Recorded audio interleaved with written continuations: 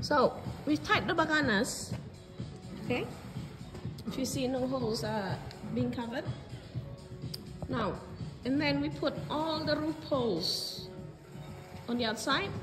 And sometimes if you have your platform very, very high, you can also put these roof poles on the inside of the yurt, right? Um, it really doesn't matter.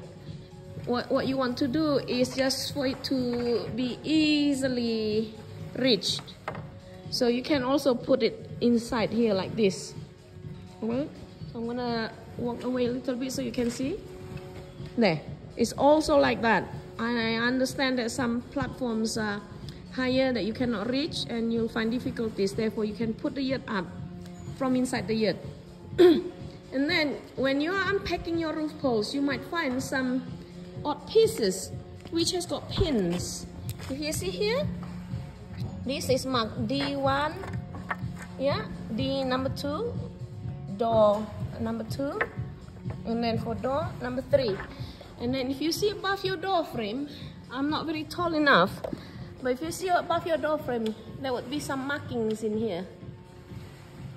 Yeah, it would correspond to,